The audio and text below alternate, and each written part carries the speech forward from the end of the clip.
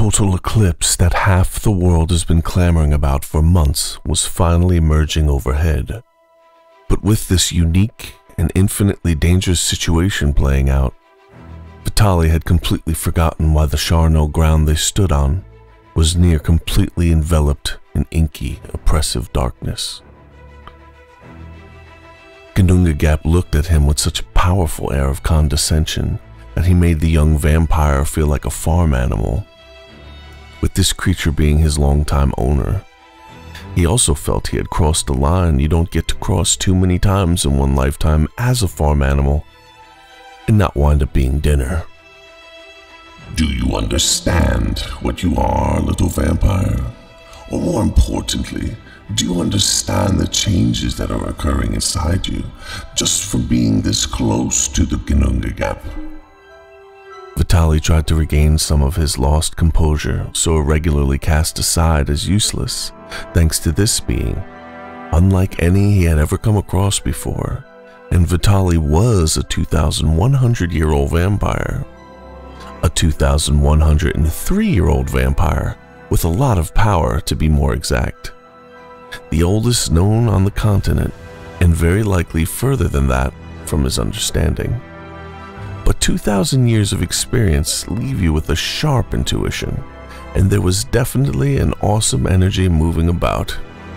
This character was definitely a part of the show, and could be a danger of undreamt proportions. Some sort of display of equality could help, but what? Vitale was very unused to this side of the equation. Uneasy and forced, it fell out of his fangy face, almost sounding like a joke. I happen to be one of the oldest vampires in existence, so to be addressed as little must be referring to something besides my age or my power. Before Vitale could open his eyes from his last blink, Ginnungagap was completely upon him. Aquiline nose sniffing at his eternally scruffy neck with a slow, deep sweetness that seemed to be drinking in the whole universe in kindness. Do you know much of the vampire's energy system, Vitale? Aghast at feeling the victim, the very thing he had caused uncountable times, coupled with his quickly growing feeling of fear, which had been absent since the day he was turned, left Vitale in a somewhat sudden, submissive mood. As Ginnungagap sensed this, he was hopeful that this interaction would actually prove beneficial to the boy. I've heard that we have an energy body, and no one knows how it's supported. It's magical or metaphysical or something. That's it. Spouted Vitale, sounding downtrodden and childish.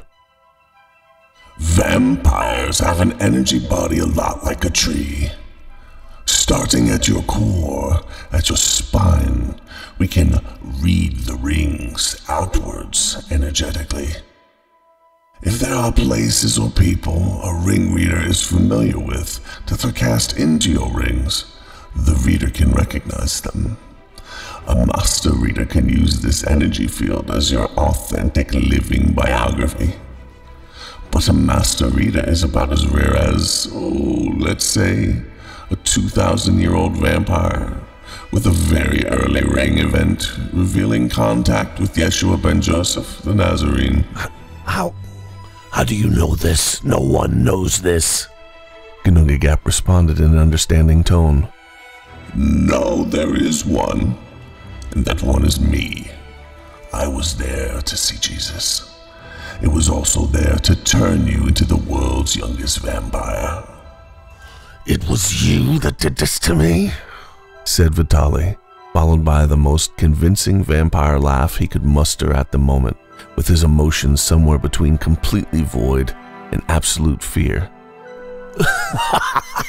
so, vampire father, why leave me to relearn life completely on my own at the age of 19 and then return to me now? Were you feeling nostalgic or just entertaining a touch of curious interest?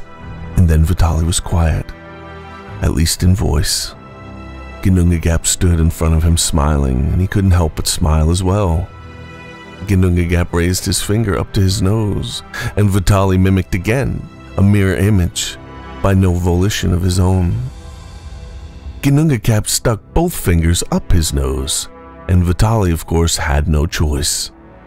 Vitale realized his feelings about the situation did not match with what must be the ridiculous look of it all. Ginnungagap dropped into a full lotus position as in yoga, as did Vitale, at which point Ginnungagap released his hold over Vitale. Well, being that this is an entirely new position for my legs, I'm sure you can imagine the pain I'm in. But compared to you using me like a puppet, I'll take it. Just a small demonstration of exactly how much I own you. For the record, I have no interest in using or abusing that power. It's simply a matter you have to understand and accept before we can move on, said Ginnungagap. Vitale responded reluctantly. Move on to what exactly? Vitale, the charge of yourself and the Ginnungagap is to rid the world of its long plaguing vampire infestation once and for all. Just when Vitale thought he was used to the newly found fear, it almost doubled. This isn't good. Vitale thought. After all the crap I've survived, this might be the one that puts the final nail in the coffin. Funny.